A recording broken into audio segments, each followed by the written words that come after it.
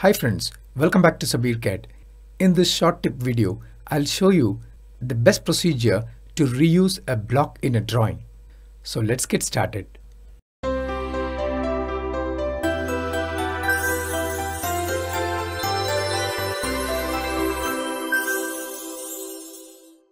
In this floor plan, I have a number of blocks.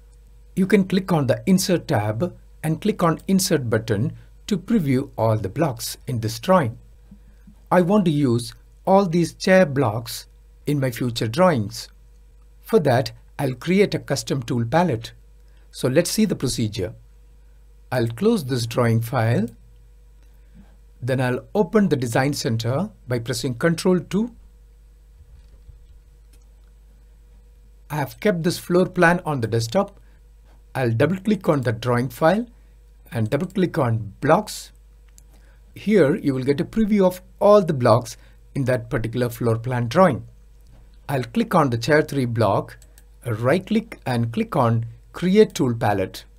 Now a new tool palette is created and you can rename this tool palette.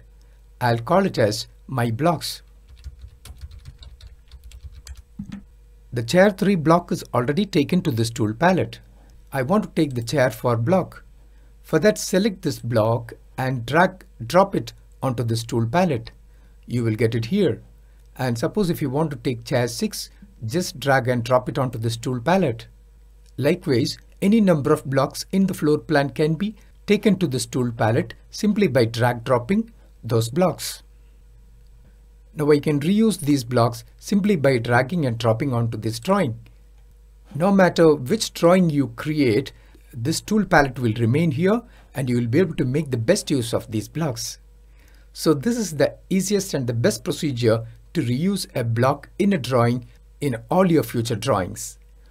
Please watch my video on tool palettes to get an in-depth understanding on tool palettes in AutoCAD.